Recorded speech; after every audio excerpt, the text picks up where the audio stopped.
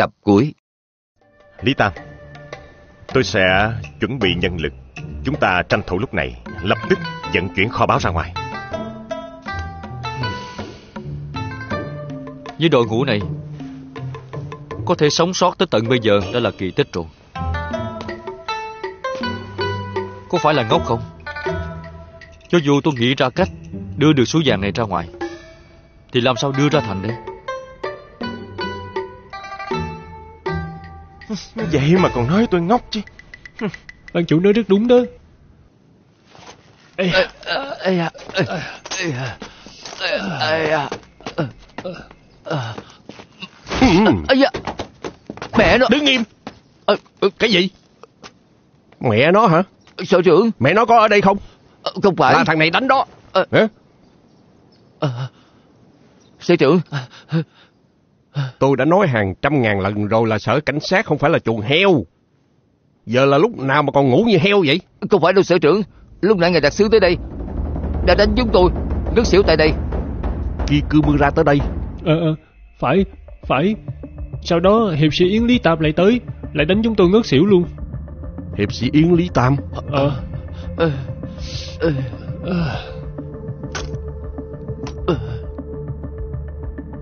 Hiệp sĩ Yến Lý Tam. Chuyện này là sao? Chẳng lẽ hắn vẫn chưa chết?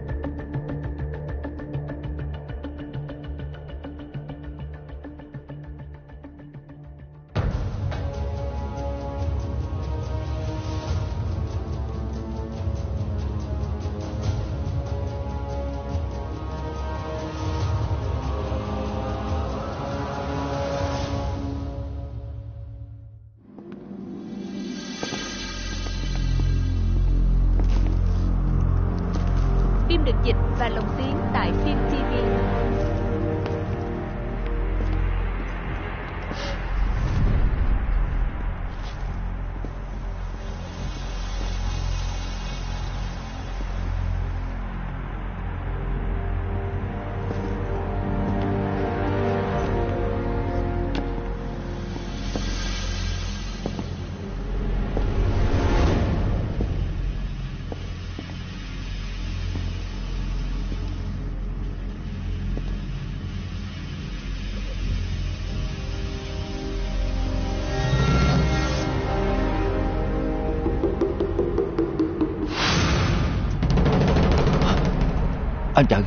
Có vết máu. À Kikumura chết ở đây.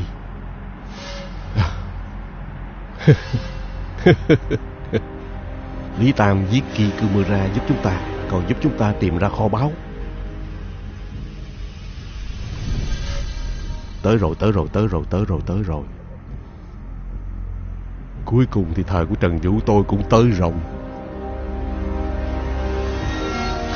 Giờ sẽ cược một ván cuối cùng với Nobuo.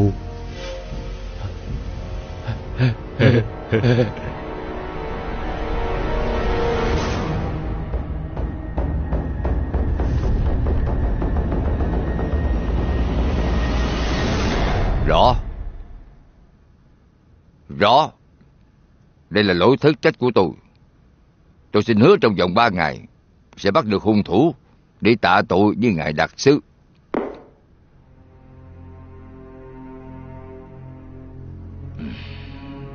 Không ngờ cái chết của Kikumura lại gây rắc rối lớn như vậy. Bây giờ bên trên đòi truy cứu trách nhiệm. Nếu không tìm kẻ chết thằng Thì xem ra mình khó thoát kiếp nạn. Ai à. Bắt Trần Vũ tới đây cho tôi. Đó. Không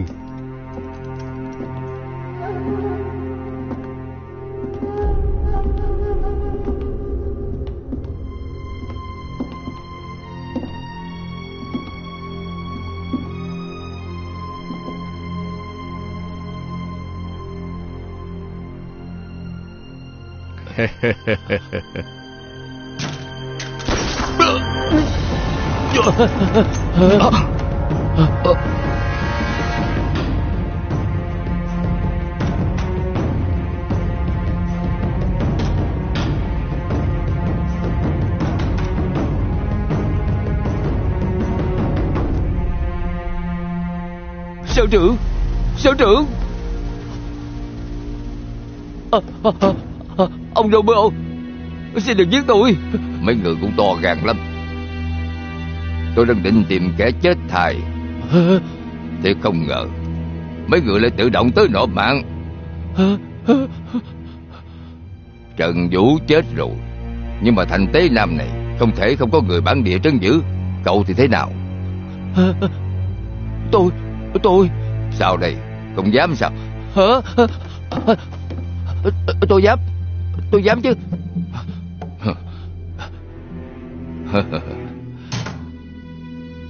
Cậu cũng biết bí mật kho báu. À, Kho báu? À, à, à, Tôi biết Tôi biết. Tôi sẽ kể hết cho ông nghe. Ông Nobel Diêm Phu tôi nhất định sẽ một lòng một dạ. Trung với Hoàng Quân Trung với Thiên Hoàng. Hay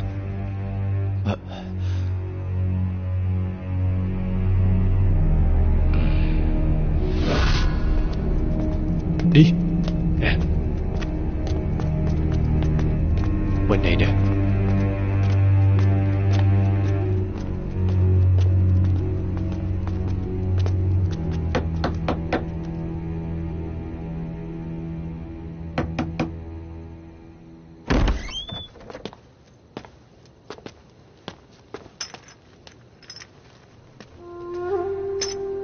Đây là báo vật dùng để chống Nhật Mong anh trước 12 giờ ngày mai Đem nó ra khỏi cổng thành giùm. Ờ được. À, Đi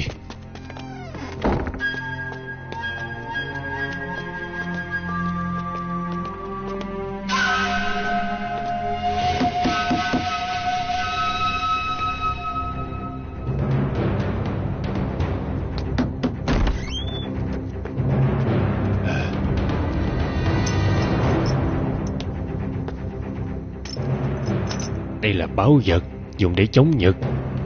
Mong anh trưa ngày mai, Dẫn chuyển nó ra khỏi thành đông dùm. Đi. Nhớ phải nhớ kỹ đó, hả?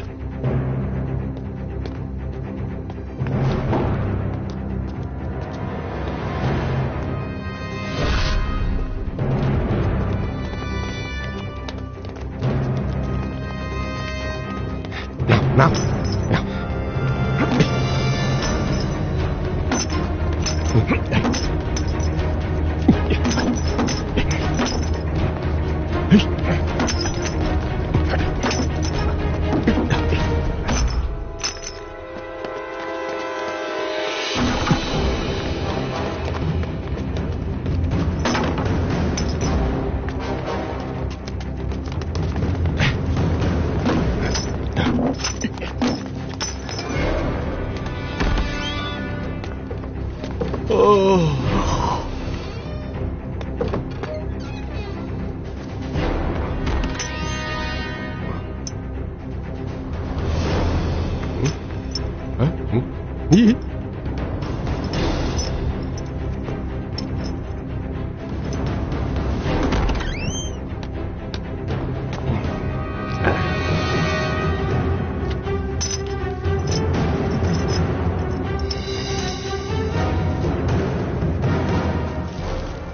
Đây là báo vật dùng để chống Nhật. Mong anh đem nó ra khỏi thành đông Trước 12 giờ trưa.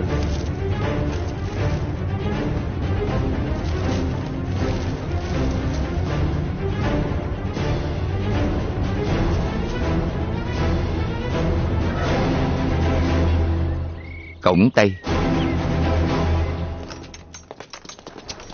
Nè Mấy người Đắp sát chợ. Kiểm tra thường lệ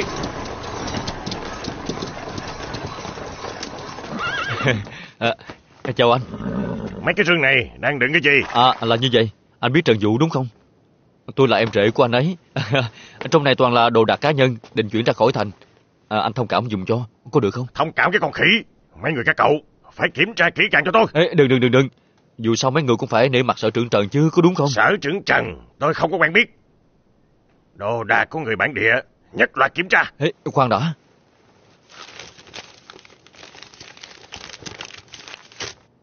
ừ, Làm gì đây Tính hối lộ hả Chắc chắn trong rừng có đồ đáng nghi Mấy người các cậu kiểm tra kỹ càng Đó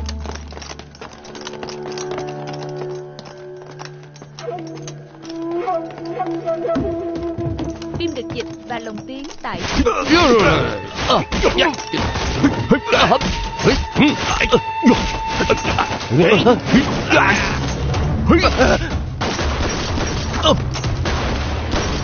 ở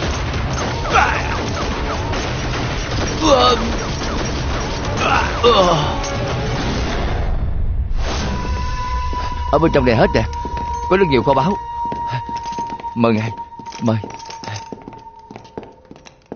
Hả? Hả? Hả? Hả? Hả? Hả? Không xong rồi Chắc chắn là Hiệp sĩ Yến Với định là Lý Tam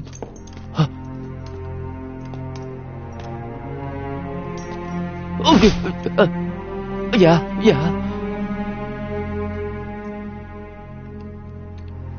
Báo cáo.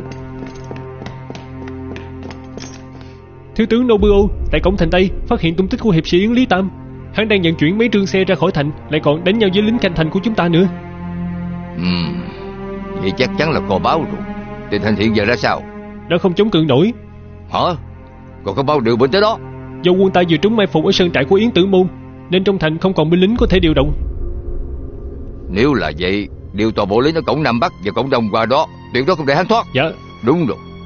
Đội bắn tiểu của thiếu tướng kia cư mưa ra Cũng điều qua đó cho tôi. Dạ, Đi mau. Dạ. Ờ, Ông Nobuo ờ, Vậy chúng tôi phải làm sao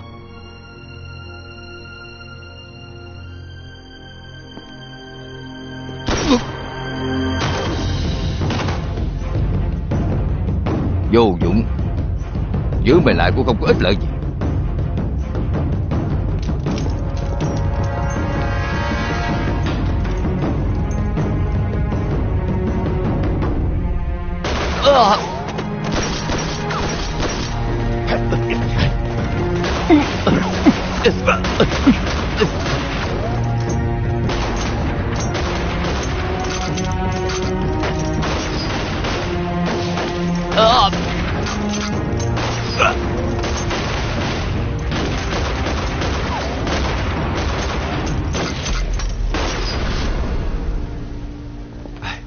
Không biết là hiện giờ bên Lý Tam sao rồi?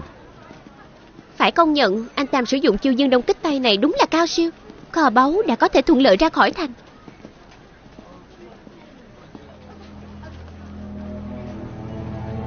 Anh Tam Anh cũng phải sống sót ra khỏi thành nha. Đi thôi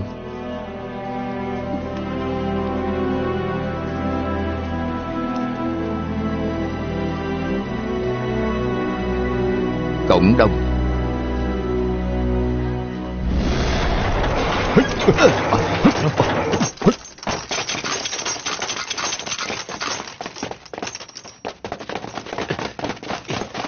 Bắn đi, bắn đi.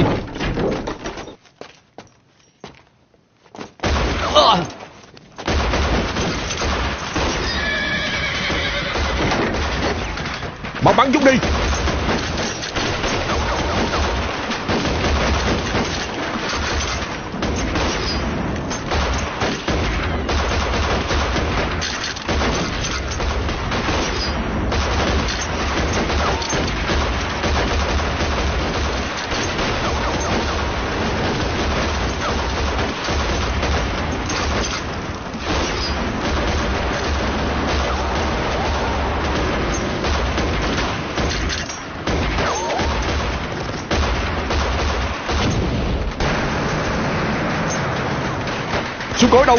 Mau bắn đi cho tôi. Dạ.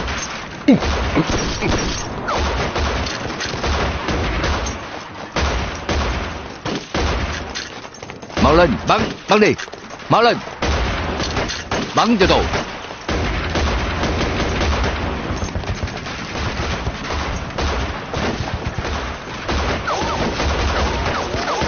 Chú ý, đừng bắn hư xe hàng. Cứ nhắm chuẩn ý tưởng môn mà Bắn.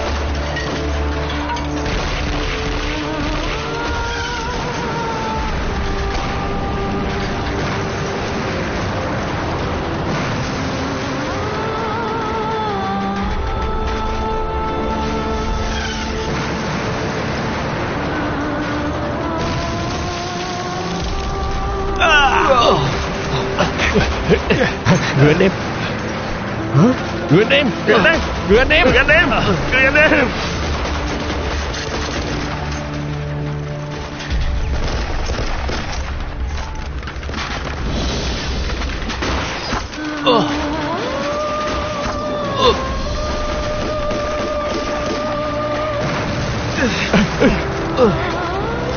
Người anh em.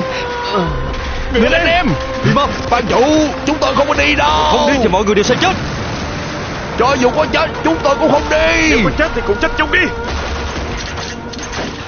Chúng tôi không đi. Bây giờ tôi lấy thân phận là ban chủ Ra lệnh cho anh đi ngay. Tôi biết chắc là cậu sẽ nói câu này. Bây giờ tôi chính thức rút khỏi Yến Tử Môn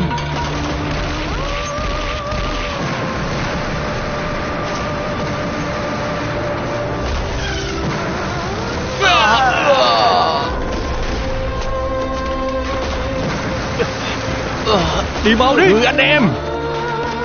Người anh em. Đi mau lên. Mau đưa họ rút lui. Mau đưa họ rút lui. Đi đi. Rút. Rút. Rút nhanh. Mau. Mau. Mau đi. Mau. Đi. Đi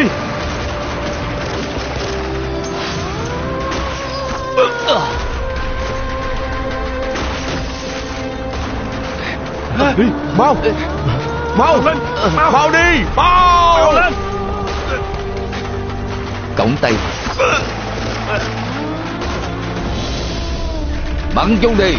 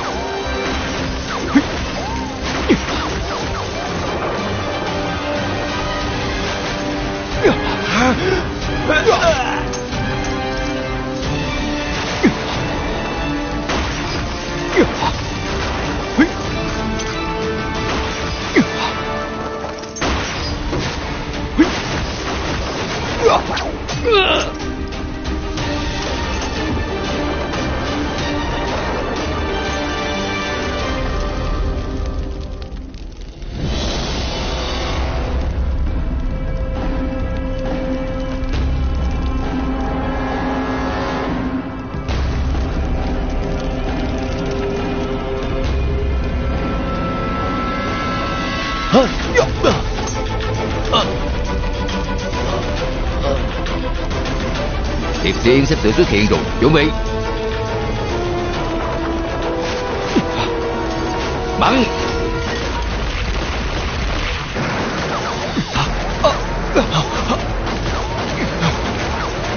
Cứ chạy đi. Chạy nữa đi. Lên.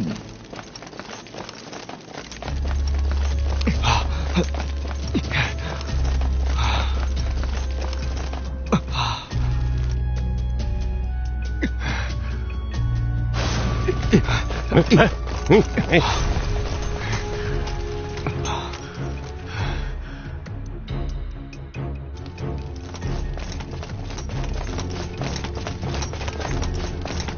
rương ra.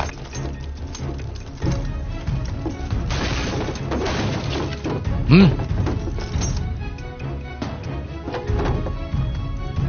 Khủng kiếp Báo cáo. Báo cáo. Cổng Nam Bắc Tây đều bị tập kích. Khủng kiếp. Dạ. Khủng kiếp. Hiệp sĩ Yến Lý Tàm Cậu lại dám gạt tôi.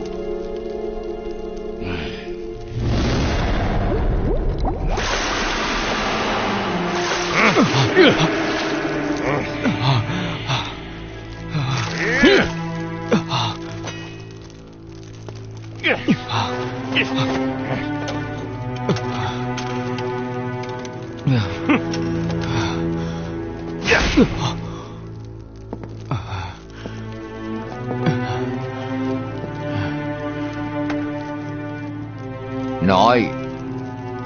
Kho báo đang ở đâu?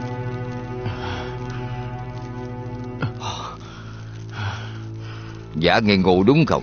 Ừ? Nói mau Thật ra kho báo giấu ở đâu? Có bản lĩnh Thì tự kiếm đi. Chuyện kho báo cậu không nói cũng thôi đi. Hôm nay hiệp sĩ Yến Lý Tam cậu rơi vào tay của tôi rồi. Đây đúng là một chuyện đáng vui đáng mừng đó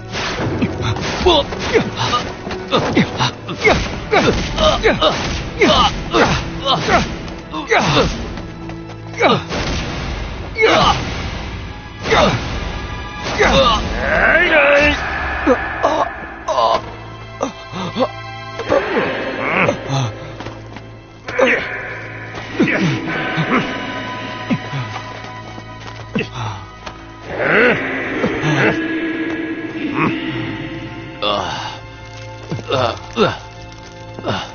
Khốn kiếp. Hề. Giỏi lắm. Bản lĩnh không tệ đó. À, Cho cậu biết Hôm nay cậu rơi vào tay của tôi rồi. Thì cậu chỉ còn con đường chết mà thôi. Tôi cho cậu hay. Cha của cậu chết trong tay của tôi. Cũng giống như đám các người vậy. Đều phải chết trong tay của hoàng quân chúng tôi. Cậu sẽ không ngoại lệ. Đây chính là số mạng của hiệp sĩ Yến các người. Số mạng của hiệp sĩ Yến các người. Ông giết chết tôi rồi Thì làm được gì chứ? Vẫn còn vô số người giống như tôi. Tôi cho ông hay. Chủ nghĩa đế quốc của các người diệt vong Đó mới thực sự là số mạng. Sắp chết tới nơi rồi mà còn cứng miệng. Được. Hôm nay Tôi sẽ bắt cậu chứng kiến một hiệp sĩ Yến không biết bài, Thì sẽ thoát khỏi số phận bằng cách nào? Các đứng gần chân của hắn đi.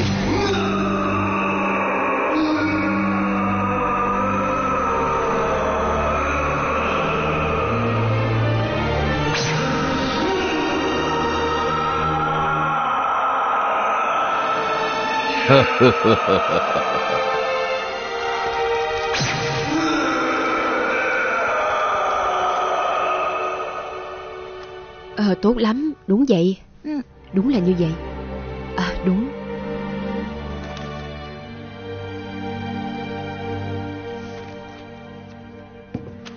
Xem chỗ này nè.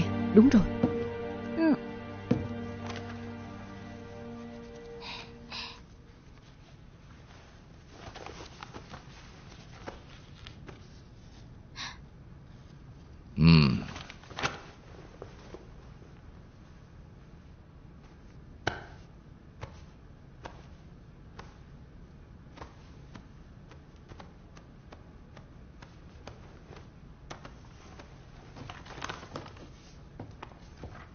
Tốt lắm, tốt lắm. Nhật văn của Meiko đúng là càng ngày càng tiến bộ. con hãy đọc cuốn sách này. Quyển sách này sẽ giúp con hiểu thêm về văn hóa và lịch sử của Nhật Bản.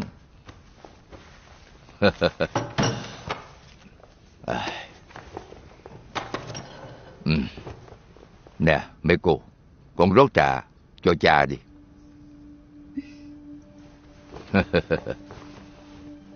À. Ra ngoài đi. Dạ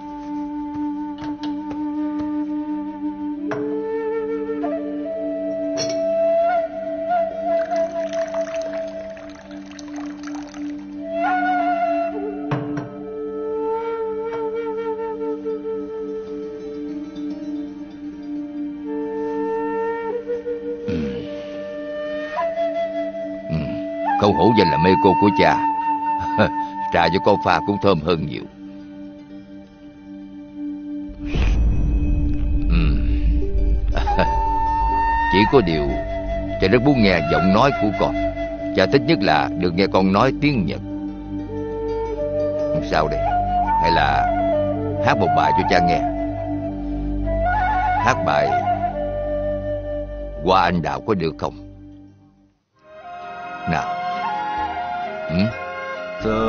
Mùa hoa anh đào. Hoa anh đào nở. Ngang qua bầu trời mùa xuân. Nơi xa nhất mà ta thấy được đó. Ở nơi đó có sương hay có mây? Hương tỏa trong không gian. Đến đây ngài Đến đây ngài Ngắm hoa đi. Ngắm lần cuối trước khi qua tàn. Anh Nobuo Bắt đầu từ ngày anh trở thành một võ sĩ. Có lẽ anh đã hiểu rất rõ. Võ sĩ chúng ta vốn là những người không nên có tình cảm. Ừ.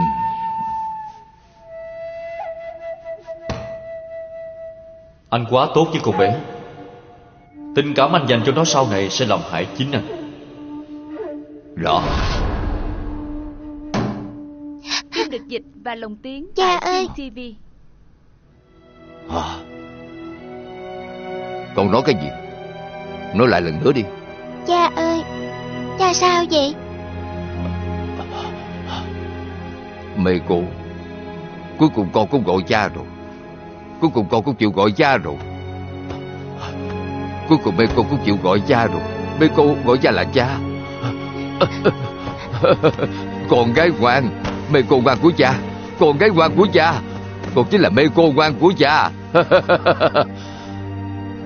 Cha vui mừng lắm. Cuối cùng cha đã bắt được hiệp sĩ Yến Lý Tam Ngày mai cha sẽ giết hắn Tại quảng trường Thiên Kiều. Cha nhất định phải tự tay giết chết hắn. Có chuyện có chuyện rồi Bọn Nhật được hiệp sĩ Yến rồi Bọn Nhật được Bọn Nhật Bản bắt được hiệp sĩ Yến rồi Bọn Nhật Bản bắt được hiệp sĩ Yến rồi đó? Đúng rồi Trời ơi đúng là không mà sao? rồi Đúng rồi Bọn đi coi Bọn đi coi đi Nhanh lên, đi Đi mau Mau lên. Đi cứu hiệp sĩ Yến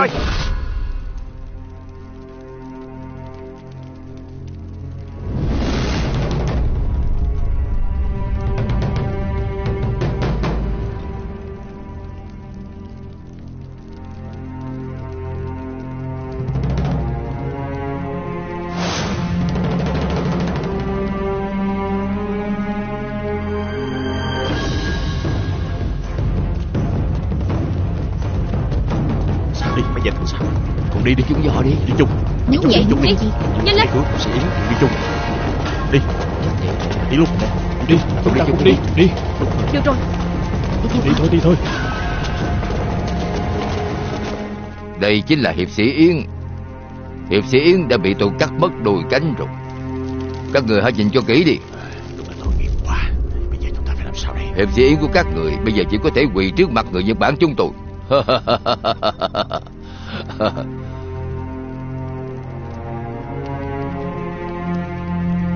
Thế sao hả? Cái cảm giác Chỉ có thể quỳ, không thể bay, khó chịu không?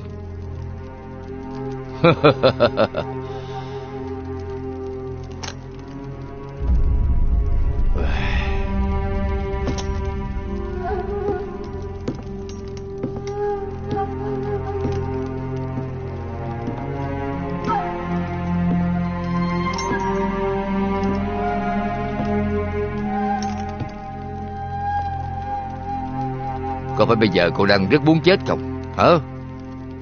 Có phải cậu đặc biệt không muốn Để đám người bản địa mọi rợ Cứng đầu, không biết tố xấu này Phải nhìn thấy anh hùng trong lòng của chúng, Hiệp sĩ Yến trong lòng của chúng Thì có thể quỳ xuống không? Hả? Nhưng mà tôi không cho cậu chết đâu. Tôi đang muốn cho tất cả mọi người trên đời này biết, Nơi đây chính là thiên hạ của đế quốc Đại Nhật Bản bọn tôi.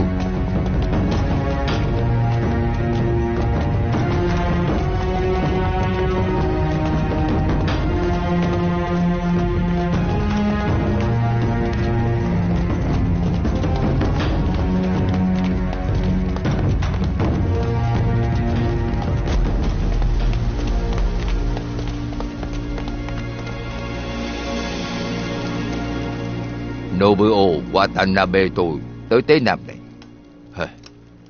Vốn là muốn xây dựng một xã hội tốt đẹp, một quê hương tươi đẹp, một thế giới của văn minh. Nhưng mà các người, lũ mang rợ, ngoan cố cứng đầu, lũ bản địa ngu xuẩn, không những không biết ơn tấm lòng của thiên hoàng, mà còn nhiều lần phá hoại kế hoạch xây dựng dùng đất vui vẻ của chúng tôi. Cậu chính là tội phạm đầu sỏ.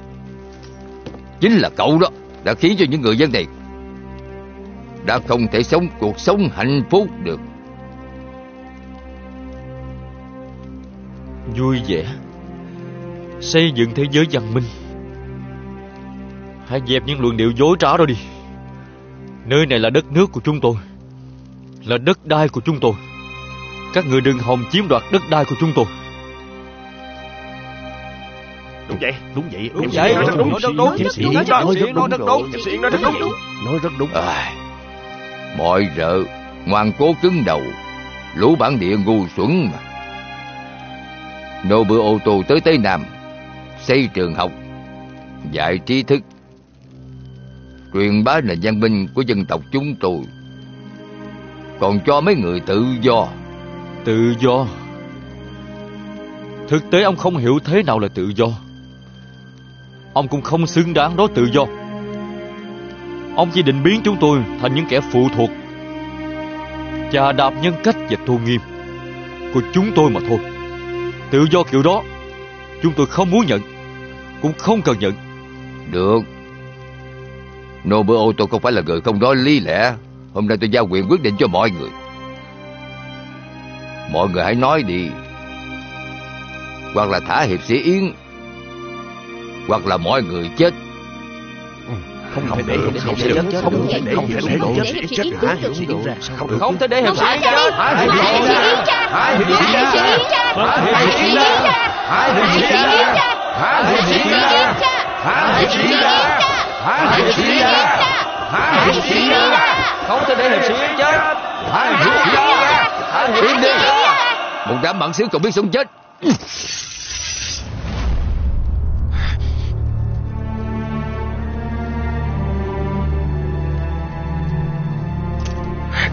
Lão đại Anh Phương vẫn chưa tới đây. Phải ráng nhịn.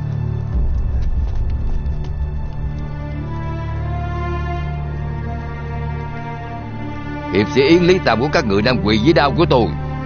Có phải các người muốn dùng máu của nó để tế thành đao của tôi không? Hả?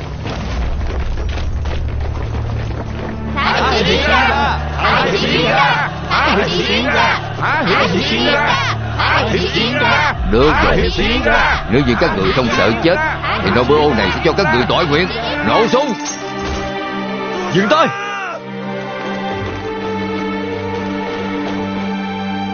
Nobuo Có bản lĩnh thì ông cứ giết tôi. Ông giết những người dân tay không tất sắt Thì đáng gì chứ? Đây chính là đất đai của dân tộc tôi. Chịu của các người chết Còn người nước tôi sẽ không bao giờ chết. Nói hay lắm. Nói hay lắm. Nói hay lắm. Cậu yên tâm đi. Cậu sẽ chết một cách bao lẹ. Lão đại. Chờ chút nữa. Chờ chút nữa. Anh Phương vẫn chưa tới đây. Chúng ta phải ráng chờ. Nhưng chúng ta cũng không thể chờ kiểu này hoài được. Phải ráng chờ một chút. Chờ chút nữa. Có điều Tôi sẽ để cho cậu chết một cách rõ ràng Hả?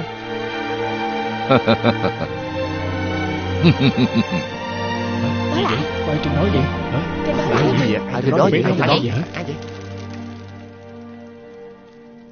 Nobuo Tôi là người nước này Tôi phải giết chết ông Ủa, ủa, ủa cô bé đó là ai? Cô bé đó là ai vậy? Nobuo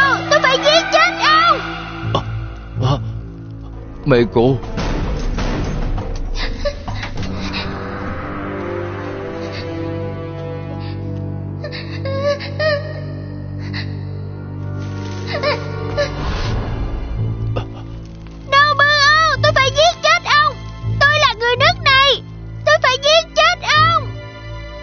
Nó không phải mẹ cô của tôi. Nó không phải mẹ cô của tôi Nó không phải mẹ con của tôi. Người đâu? Giết chết nó. Giết chết nó.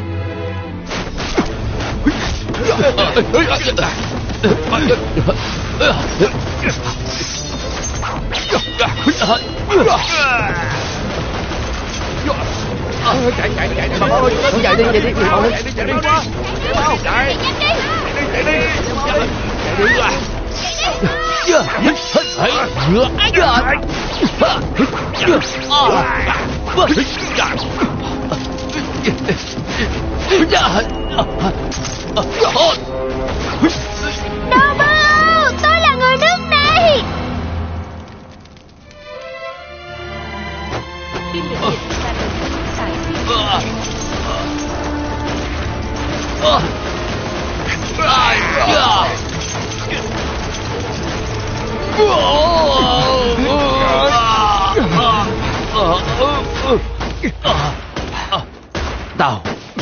Tao chết cũng không Buông tha cho mày Ờ, ờ, ờ, ờ.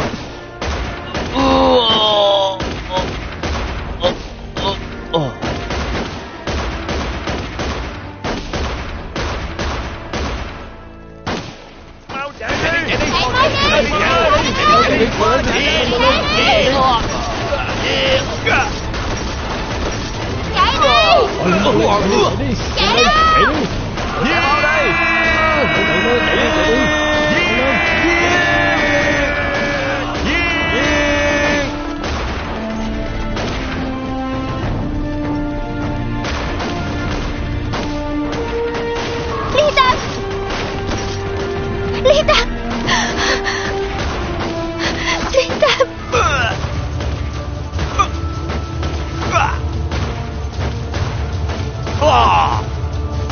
Sự bạo tàn của quân xâm lược.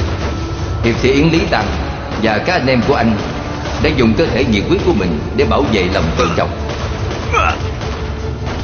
Cuộc chiến này đã kéo dài rất lâu. Họ bị bắn, ngã xuống Rồi lại tiếp tục đứng lên. Quyết dùng sức lực cuối cùng Để quyết một trận sống chết với kẻ thù. Người dân thành Tế Nam Cảm động trước tinh thần của họ Đã lần lượt đứng lên cầm vũ khí giết giặc. Khi khói súng tàn đi, Hiệp sĩ Yến Lý tàng, Đã biến mất, không còn dấu vết gì. Trên giang hồ cũng không còn có ai, Thật sự nhìn thấy bóng dáng anh Tuy là vậy, Tinh thần không có tự do Thì thà là chết của loài chim yến, Thực sự làm xúc động lòng người, Mãi mãi không tan biến.